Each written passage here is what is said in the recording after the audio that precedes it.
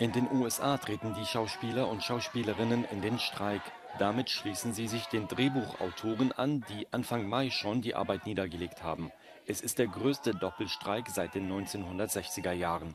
Die Verhandlungen zwischen Vertretern der TV- und Filmstudios mit der Schauspielergewerkschaft SAG-AFTRA waren zuvor gescheitert. Die Schauspieler fordern bessere Vergütung, aber nicht nur das. The entire business model has been changed by streaming, digital, AI.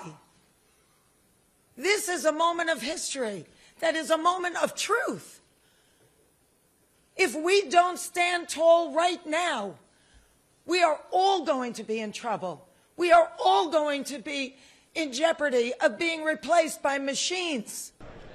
Zahlreiche Schauspieler haben ihre Unterstützung für den Streik angekündigt, darunter Matt Damon und Emily Blunt. Die beiden haben bei einer Vorführung des Films Oppenheimer in London nach einem Auftritt auf dem roten Teppich aus Solidarität mit den Streikenden die Veranstaltung verlassen